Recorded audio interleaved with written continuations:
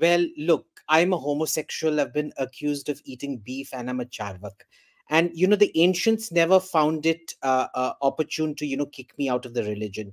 I just Mhm. find this certificate giving of who's a Hindu and who's not could be quite amusing. So that was Mhm. number one.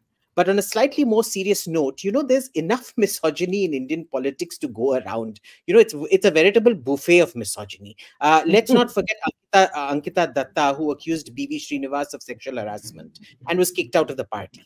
Uh, let's not forget uh, how these people were absolutely quiet on Sandeshkhali and nothing's ever happened. No criticism of Mamta Di or TMC at all. Uh, quite the contrary, we saw exactly how that gentleman Shah Jahan Sheikh was being feted at the police station. He was taking the policemen into their room, they were taking him into uh, their room.